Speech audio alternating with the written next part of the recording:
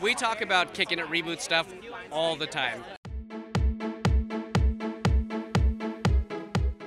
You, I know that you had a lot to do behind the scenes when this show first started.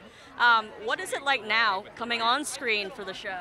Uh, it's a dream come true. I mean, that sounds like cliche and sort of silly, but it really is. I've loved working with the kids behind the scenes the first two seasons, and to actually get the opportunity to share the screen with them and have something that's forever that I can watch 20 years from now and remember my time with them, like it really is, it's very special. Well, I remember when I found out that you were like an acting coach and helping them behind the scenes. I was like, he is still in this Disney family. Like it just made my heart warm. What's what's it like to still be a part of this family? I mean, it's just a big black hole. You try to get out, and they just keep sucking you back in. You know, I mean, they, they just they've been very good to me over the years. I, you know, I've done multiple shows and DComs, and I've done movies for them, um, and I the response that I get from the fans just out in the world, how how much they identify parts of their childhood with things that I've been in, it it, it just feels like a very special thing. So I, I don't feel the need to like push it away or be like, I gotta stop doing the Disney stuff. I, I really enjoy all of my Disney projects. And uh, we got a little bit of Dewey in this first episode. He's very grumpy, which I kind of like. What's it like embodying this character? It's the best. Like to get paid to be grumpy at people is it's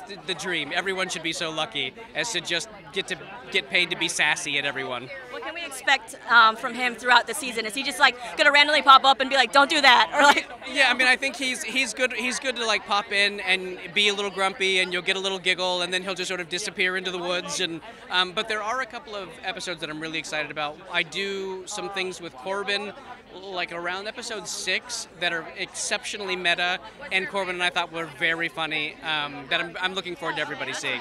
I Yeah. love the little banter you had in just this first episode. That was Yeah, just a tease. yeah. Episode episode. I think it's episode six. Look for, look out for that one. I only got to episode three so far, so Yeah. I- I'm going to look out for that. Um, Disney, these Disney projects are known for making these great characters, these great ships that people love. Who, do you have a favorite like Disney couple of all time, whether it's from the movies or from the TV shows? Oh, that's a good question. I don't know if I have a favorite. I mean, I'm I am heavily invested in the original Zac and Vanessa, so like paying homage to where the show comes from. I mean, they they were just adorable. And Gabriella forever, right? Yeah. I imagine they're still together, right? They have to be. And would you ever do something like this for one of the projects that you've been on? Would you love to see something kind of meta come through like this? Yeah, I mean, like if if somebody had a really cool idea for a Hannah something, or even a Kickin' It something, because that show was an, a blast as well. Um, I'm always open to goofing off with people that I love. I would love to see another Kickin' It sequel. I know. I, Leo and I are still best friends. He was the best man at my wedding. We talk about Kickin' It reboot stuff all the time because we had so much fun on the show. I mean, now all you really got to do is put something on TikTok, and it'll just like blow. I know. It, it'll force Disney's hand. They'll have to reboot the show. That's how we do it these days, right? That's right. One could say the stakes have never been higher. And one will. The stakes have never been higher.